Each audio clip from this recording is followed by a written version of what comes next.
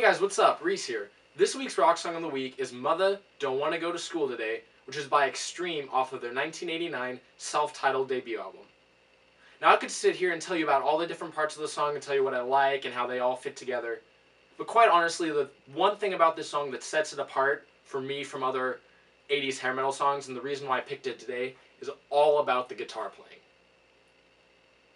Especially when you think of 80s hair metal, there were a lot of really good guitarists but there were only a select few that really kind of set themselves apart from the pack.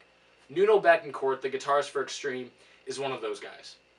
He's an extremely technical guitarist. I think of him similar to kind of a Yngwie Malmsteen, although he has less of a direct classical influence in most of his songs. But so this song starts out with a, a minute and a half solo by Nuno, and what you have first is just a lot of really fast note striking with a clean guitar sound, and then he hits the whammy bar and comes screeching in with distortion, and basically replays a similar pattern, but this time it's with a ton of distortion. And he's got a great, it's one of those, it's got a really heavy guitar tone, and it's just like dripping with distortion and just that raw rock energy, but yet it still sounds clean, like you can hear him hit every note, which I think is a really cool balance, and it can be hard, really hard to hit sometimes.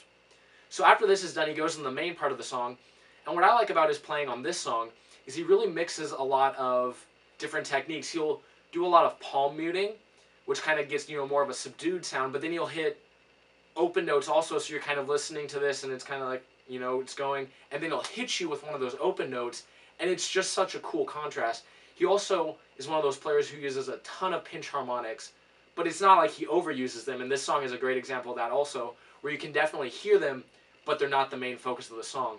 There's a lot going on here um, guitar wise, and the whole song just sounds really great. But like I said, this is the part that I would really focus on when you check this song out.